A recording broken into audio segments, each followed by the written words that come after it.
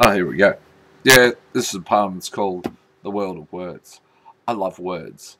DNA chains of conceptions, ideas, memories, feelings, emotions, transcribed into marks, vocalized, transmogrified, symbols of expression, lyrical, simple, abrupt, complex, old and new words that transcend the moment, a revolution of imagination, reflections dancing with letters, consonants, vowels, sentences, downplayed, overstated, just right echoes that shiver the skin, inspiring, realizing I love words.